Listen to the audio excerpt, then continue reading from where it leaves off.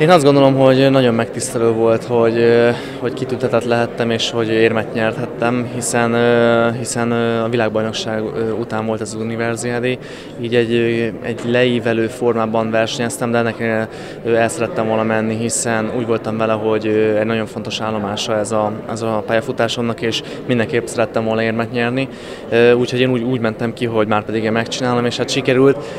Egy picit két, kettő szájízzel jöttem haza, hiszen nem sikerült 400 versenyérmet nyernem, csak, csak idézőben negyedik lettem, de, de azért is éremért mentem.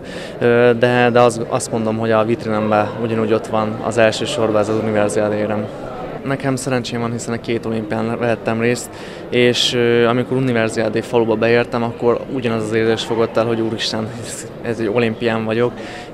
Nagyszerű hangulat volt, nem volt annyira feszült, hiszen, hiszen az olimpián a faluban belül is érezhető, hogy azért csak sportolók vannak, jóval lazább a, a, az egész hangulat, de amint a versenyhelyszintre értünk, akkor már egyből ugyanúgy, mint az olimpián megfogott azt, hogy igenis itt komoly, komoly versenyzés van, és mindenki komolyan veszi.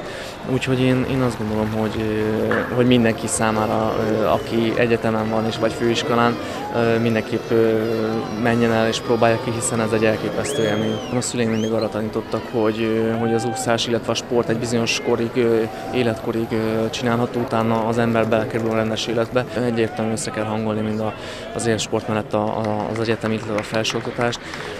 Én nagyon szerencsés lehettem, hiszen én a világbajnokság előtt két héttel államvizsgáztam, és tettem a nyelvvizsgát is, úgyhogy nekem ez egy nagyon kemény időszak volt, de, de utólag azt gondolom, hogy büszke lehetek saját magamra, hiszen, hiszen megcsináltam, és, és hát öregbítettem a iskolám nevét, hírnevét is, és én azt gondolom, hogy, hogy mindenképp egy nagyon jó eredményt értem el.